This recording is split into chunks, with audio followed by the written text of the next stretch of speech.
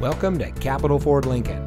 And here's a look at one of our great vehicles for sale. And comes equipped with Ford Pass Connect, heated door mirrors, emergency communication system, Sync 3 911 assist, heated unique cloth front bucket seats, heated front seats, auto high beam headlamp control, rear view camera, keyless entry, Sirius XM satellite radio, speed sensing steering, and has less than 40,000 miles on the odometer.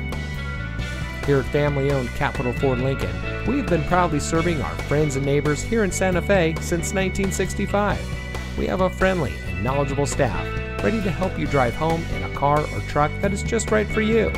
We are your home for the people that care, and our team is dedicated to providing the best customer service around. So come see us today at Capitol Ford Lincoln in Santa Fe.